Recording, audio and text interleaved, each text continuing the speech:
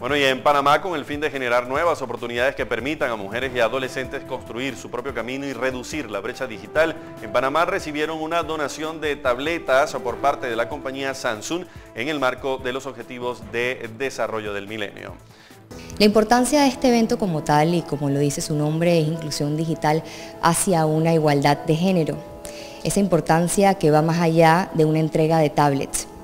es esas herramientas y esas oportunidades que hoy les tenemos que dar a las mujeres y a las niñas para que así se puedan seguir empoderando y seguir creyendo en sí mismas para que cuando una vez lleguen esas oportunidades en sus manos, ellas tengan las herramientas y sean capaces de enfrentar cualquier reto que se les proponga. El Objetivo de Desarrollo Sostenible número 5 que busca la igualdad de género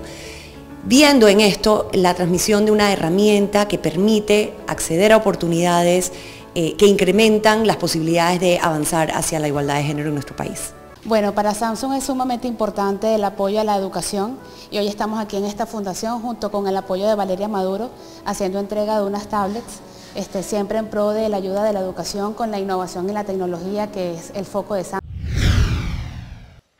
Bueno, y esta iniciativa beneficiará a fundaciones como Calicanto, Transformadoras y Transición a la Vida y se inscribe dentro de las acciones de colaboración entre las distintas instituciones para reforzar el uso de la tecnología en la educación y el desarrollo. Según datos 2018, en Panamá 70% de la población tiene acceso a Internet. Esto está relacionado a que el costo de equipos electrónicos ha ido disminuyendo a medida que ha ido también avanzando la tecnología, sin descartar que ahora hay más disponibilidad de redes Wi-Fi en los lugares públicos.